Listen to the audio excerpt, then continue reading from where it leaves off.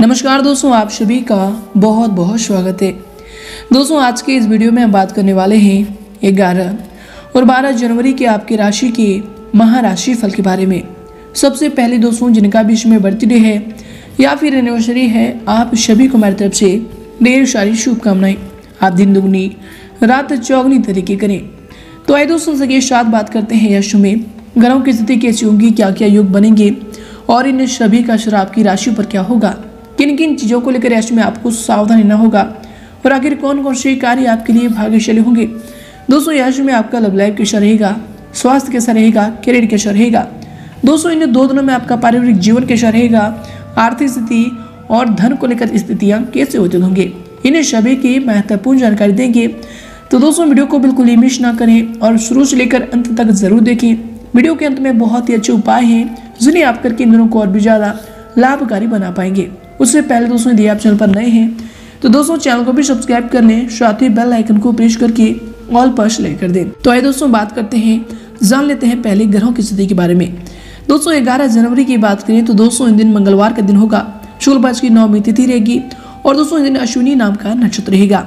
वही दोस्तों दिन योग की बात करें तो शुरुआत सिद्धि नाम का शुभ योग और शादी नाम का शुभ योग रहने वाले हैं। वही दोस्तों, इसके उपरांत इस दिन राहु कल के समय की बात करें, अर्थात अशुभ समय की दोस्तों, ध्यान रहे, आप राहु, कल के समय में कोई भी शुभ और महत्वपूर्ण कार्य को भूल से भी ना करें।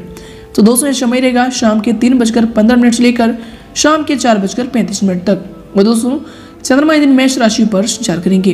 वही दोस्तों, अगले दिन बारह जनवरी की बात करें तो दोस्तों, इस दिन बुधवार का दिन रहेगा, शुक्ल पक्ष की दसवीं तिथि रहेगी, और दोस्तों, दिन भरनी नाम का नक्षत्र रहेगा। वही दोस्तों इस दिन शादी नाम के योग के उपरांत ही शुभ नाम का शुभ योग प्रारंभ हो जाएँगे, जो कि बहुत ही लाभकारी होंगे आपके घर के माहौल के लिए और आपके करियर के लिए।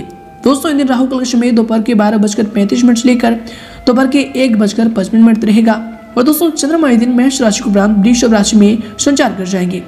तो आइए दोस्तों बात करते हैं दोनों की जो ग्रहों की स्थिति है और चंद्रमा के जो गोचर है, आपकी राशि पर क्या क्या प्रभाव लेकर आती है। चलिए दोस्तों, बात करते हैं पूरे विस्तार से। दोस्तों, यह समय आप अपने आप पर भरोसा करते हुए अपने कामकाज को बेहतर दिशा देने का प्रयत्न करें, जिससे आपकी आर्थिक स्थिति सुदृढ़ रहेगा। दोस्तों, आप एक सुलझे हुए व्यक्ति की तरह समय के अनुसार कर सकते हैं, इसलिए आप अपना प्रयास जो है जारी रखें। वही दोस्तों, यह समय नेगेटिव की अगर बात करें तो राहु परिजनों से सामंजस्य बिठाने में कठिनाइयाँ पैदा करेगा। परिवार के कुछ लोगों का वर्ताव जो है यह समय ठीक नहीं रहेगा। ऐसे में विपरीत परिस्थितियों से निपटने के लिए आपको अपने अंदर प्रतिरोधात्मक शक्ति जो है विकसित करनी होगी। आपको बहुत संतुलन बनाते हुए यश में आपको आगे बढ़ना होगा।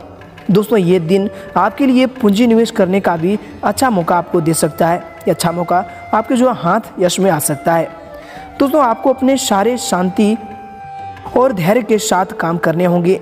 दोस्तों, यश में पूंजी निवेश के लिए आपके पास काफ़ी अच्छे अवसर आ सकते हैं। दोस्तों, यश में ग्रह नक्षत्रों की स्थिति जो है, संकेत कर रहा है कि आपको कोई अच्छा धन लाभ भी यश में जल्द ही मिल सकता है।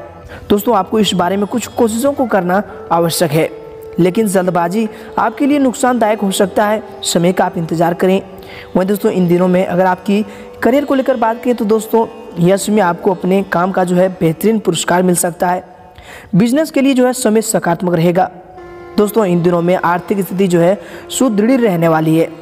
अपने कार्य व्यवसाय में संबंधित जो भी कार्य है, या फिर किसी अन्य कार्य से आपको अच्छा लाभ प्राप्त हो सकता है।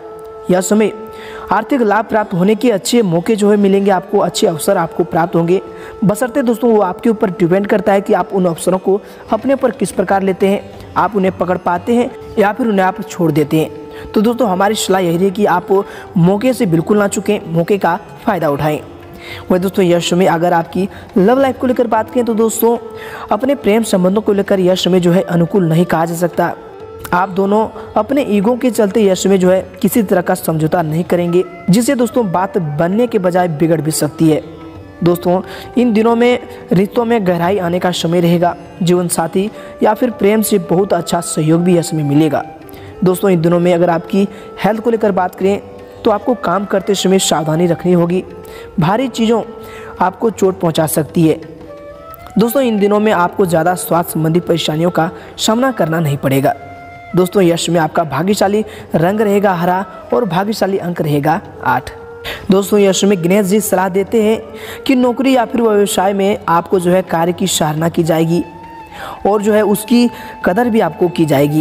यानी दोस्तों, आपकी यश में जो है भावनाओं की कदर होगी। आपको जो पुरस्कार भी यश में दिया जा सकता है। ऐसी आशा आप यश में रख सकते हैं। परंतु यदि ऐसा न हो तो दोस्तों आप निराश हो, बिल्कुल ना होएँ। आप नौकरी में लाभ प्राप्त करने के लिए अधिक परिश्रम कर सकते हैं।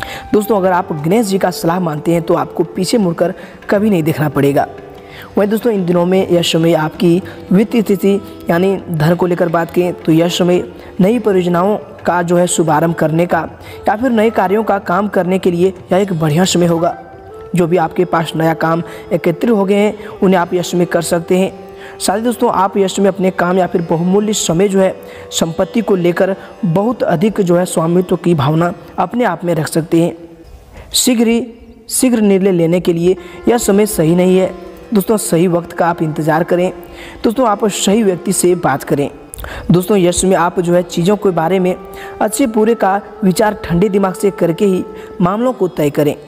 दोस्तों, इन दिनों में आपकी पारिवारिक जीवन की बात करें तो ग्रहों के पूर्वानुमान से पता चलता है कि खराब संचार या फिर असंतोष के कारण जो है आप अपने प्रेमिक से लाल पीले हो सकते हैं। पर्याप्त समर्थन प्राप्त नहीं होने से आप उससे जो है दूर भी रह सकते हैं। भावनात्मक स्थिरता का जो प्रबंध करना आपके लिए यश में महत्वपूर्ण होगा। दोस्तों, यश में आपको जो है धैर्य, मधुर रिश्ते को बनाए रखने की कुंजी होगा। गणेश जी का ये जो है सुझाव है। दोस्तों, इन दिनों में अगर आपकी आर्थिक स्थिति की बात करें तो दोस्तों, यश ये जो दिन है, अच्छे वित्तीय अवसर आपको प्राप्त होने में सक्षम होंगे। जो है, बहरहाल उनका जो है, आप सही लाभ उठाने के लिए आपको सही योजनाओं और फिर सही निर्णय का सहारा लेना होगा।